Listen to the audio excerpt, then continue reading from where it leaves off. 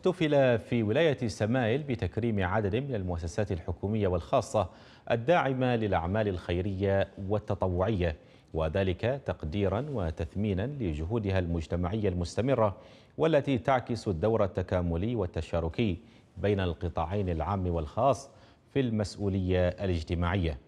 رعى حفل التكريم معالي الشيخ الفضل بن محمد الحارثي أمين عام مجلس الوزراء.